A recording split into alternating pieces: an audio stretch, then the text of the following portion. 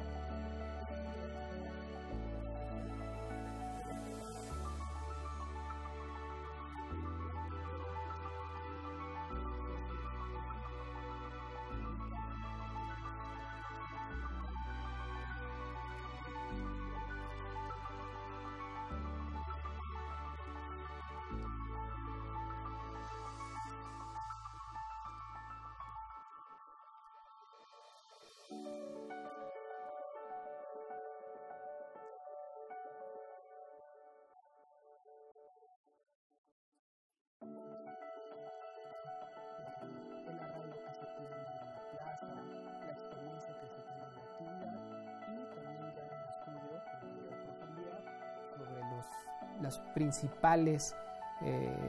elementos que pueden hacer al proyecto productivo verdaderamente exitoso.